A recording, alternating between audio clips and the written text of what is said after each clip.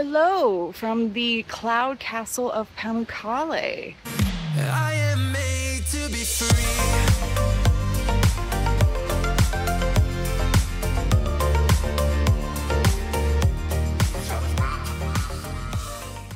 We're here for three days and today we're visiting Hierapolis, which is right up here. John has treated us to a rental car. So for the other two days that we're here, we're gonna go and visit some sites that are a little bit farther away from Pamukkale. Should be really good three days. So to walk on the travertines, you have to take your shoes Life off. is a winding road, no telling where it goes. Driving through days and nights. We're only like couple feet away from where we took our shoes off, but this is cool getting to walk on the travertines with the water flowing. It's just really neat. If I never figure out where the road goes,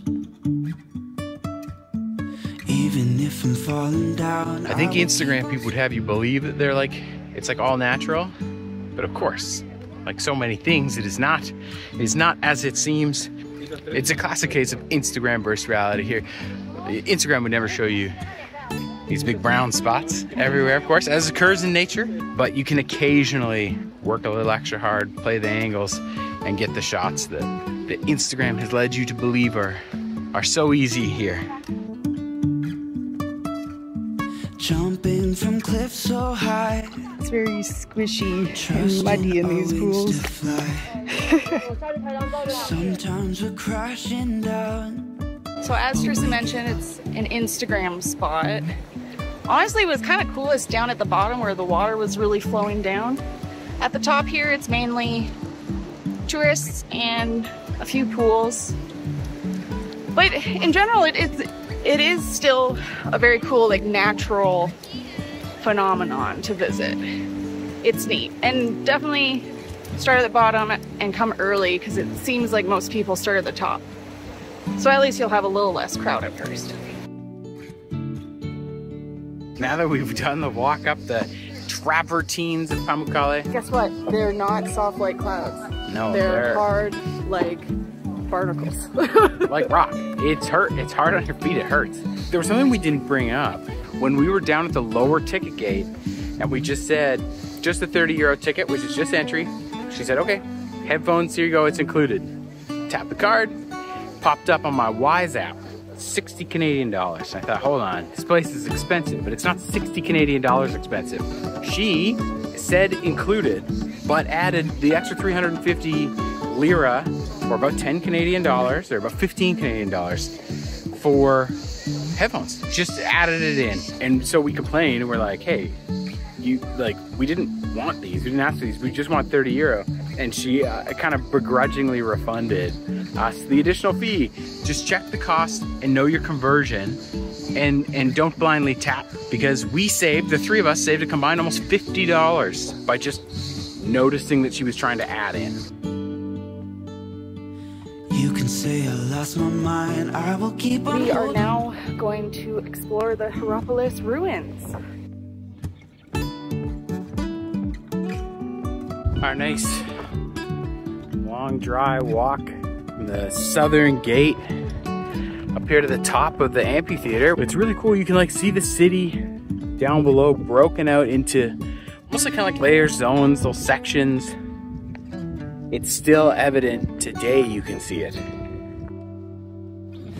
This is probably the most impressive amphitheater we've come to so far. The stage is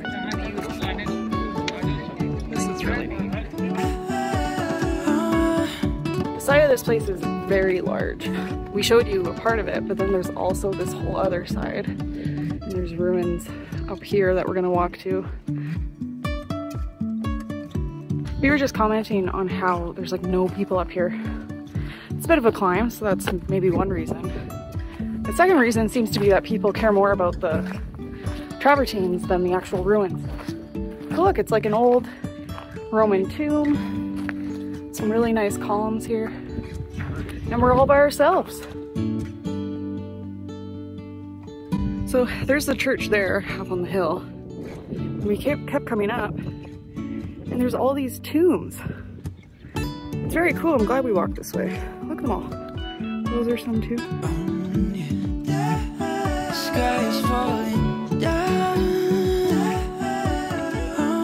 Something that we've noticed around the site are these like aqueducts that kind of just divert or used to divert water all over the city. It's kind of cool.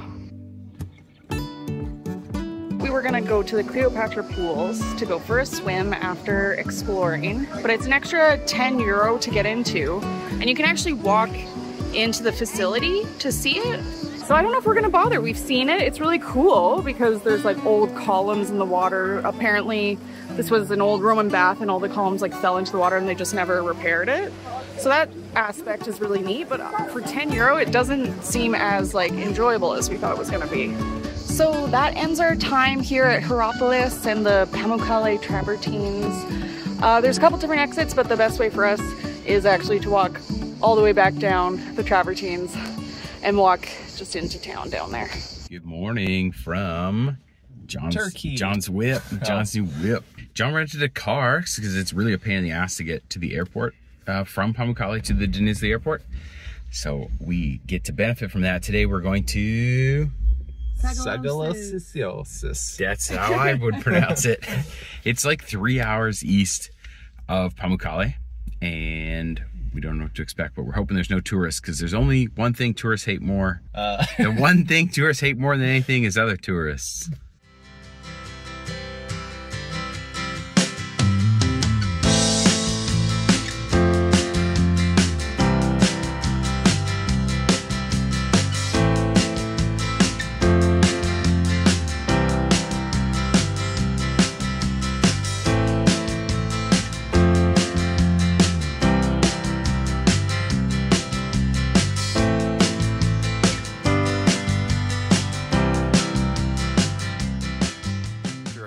Hour drive. We've arrived now to Sagalassos here at the, the top of a mountain of this beautiful mountain valley. Uh, so I'm really excited and the temperature is the best it's been in Turkey in a long time. It's only 25 degrees out. It feels like a dream.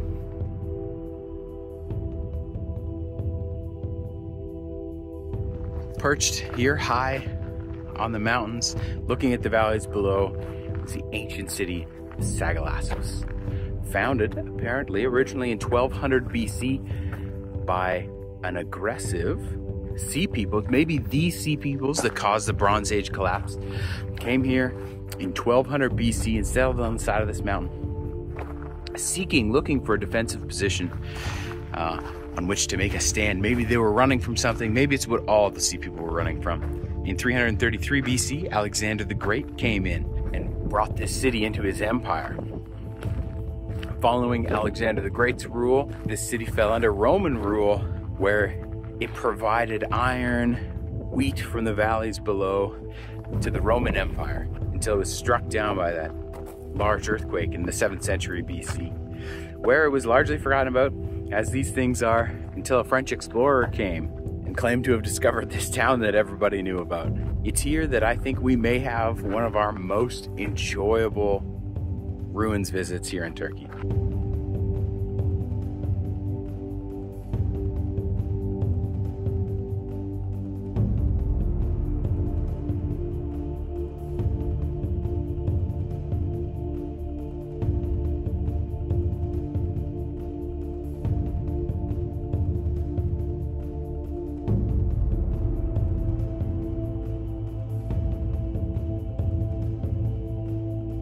Here's Tristan groping. no, I was kidding. connecting. I'm connecting with this stuff.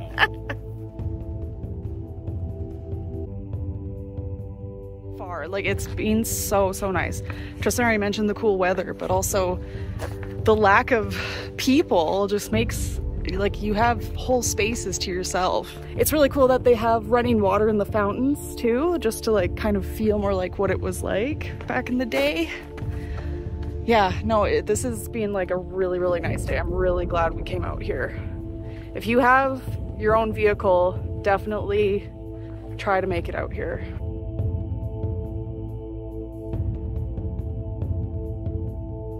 we have concluded our exploration of Sagalassos, this ancient mountain city. I really enjoyed it. I think we all really, really enjoyed it. The best part was that it's not super touristy, right? It's only people who have rental cars that come out here. Nobody else comes out here. I think I enjoyed Sagalassos and Pergamon more even than Ephesus. Ephesus is great, it's grand, but it's very, very touristy. Pamukkale, the Hierapolis Pamukkale is a tourist nightmare. If you were to give up for two people your 30 euro tickets to Pamukkale, you could rent a car, fuel it with gas, drive out here and pay for admission here at Sagalassos instead of going to the Pamukkale Hierapolis. And if I had a recommendation for this area of the country, that would be it. Good morning. we are in the back of John, or I'm in the back of John's rental car again because we are off to Aphrodisias. It's another ancient city, a little bit closer to Pamukkale this time. Uh, so yeah, we're heading there now. We have arrived in Aphrodisias. The drive was very beautiful again. It was just about an hour. I think it's called Aphrodisias. Aphrodisias. Aphrodisias. Sure. Diasis, Disias, di. I, okay, maybe I don't know. Di. Said maybe. perfectly the first time, Tristan. Said perfectly the first time. It looks like it's going to be another really quiet, cool day. It's uh, only about 25 degrees here, and there's like no other people. So I think it's going to be really nice here. Unfortunately, the museum here is closed, um, which is a shame because I think a lot of the original sculptures and everything are in here. Um, but hopefully it's open when you get here and it's probably a good thing to save for last during the hottest part of the day. But it's closed for us, but that's okay. Welcome to the ancient city and museum of Aphrodisias. Thank you for choosing our audio guide application. Aphrodisias is a remarkably preserved Roman period city in ancient Caria, which was famous in antiquity for its sanctuary of Aphrodite. Here, you will see the largest ornamental ancient pool and one of the best preserved and largest stadiums of the ancient world. Right now, I'm sitting at the top of the stadium, and this is pretty incredible. Uh, look at this. This is where they did javelin, chariot races, gladiator fights, and all of that stuff.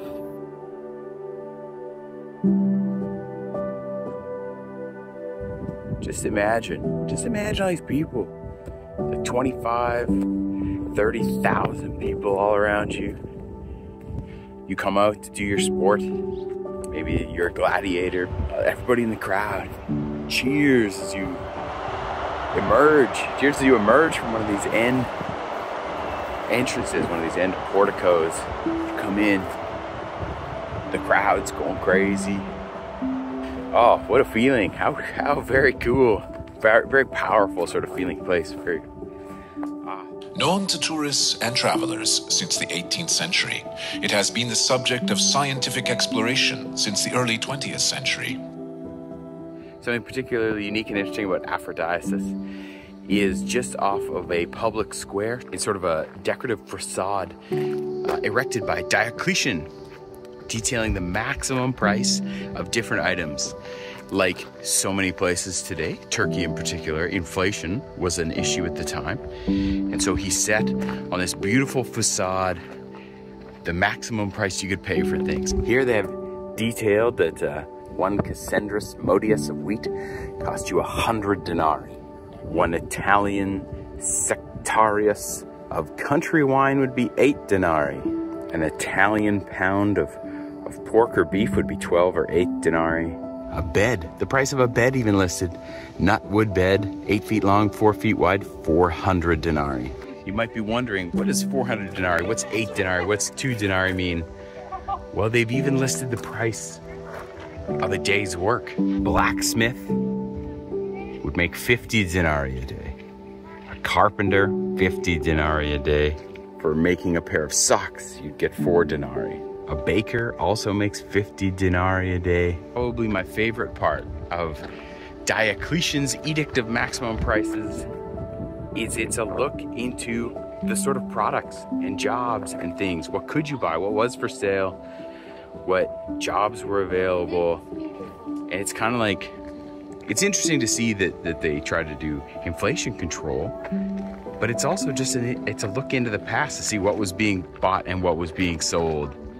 Um, here in Aphrodisias, very cool, very interesting. It's just very neat. It's very neat. How much a sword costs.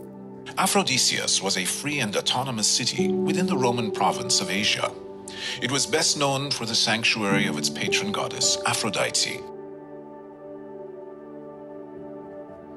Our tour of Aphrodisias has come to an end here at Sebasteion, the Temple of Emperors. I really enjoyed Aphrodisias.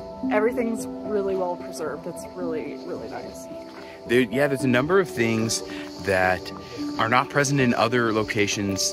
The stadium was stunning. It's really interesting to see it's nice. There's not there's very few people here. It's felt like we've been had this ruins almost to ourselves. Yeah, I think we saw the most people here at the Sebasteion and then at the theater. I really enjoyed this. I think if you're in the Pamukkale area, Pamukkale itself, the Hierapolis of Pamukkale is the weakest of its of the offerings locally. Yeah. And this area really shines when you can get a car and you can get away get away from Pamukkale.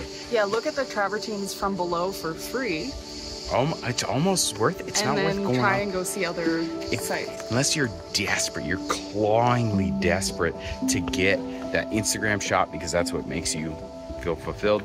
We didn't know, so we're hopefully we can save you the trouble. It's not worth it. I don't think it's worth it. These other things are so much nicer. We are done here in uh, the Pamukkale and Denizli area. Uh, and it is with heavy hearts that we say goodbye to John. He leaves tonight. He goes back home, and tomorrow we leave for uh, the coast. Bye, John. Bye. Bye. It's a pleasure being on Wandering Blue Passports. That's why we do it. That's why we do it.